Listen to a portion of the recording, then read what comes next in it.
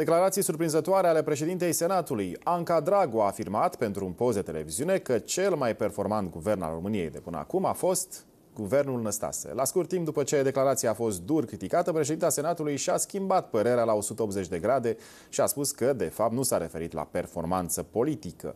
Cumva lăuda cantitatea, adică lungimea mandatului, nu calitatea, a susținut șefa Senatului. Întotdeauna am uh, personal am insistat pentru evitarea fragmentărilor la guvernare, fie că vorbim uh, de câte un minister sau de un guvern întreg.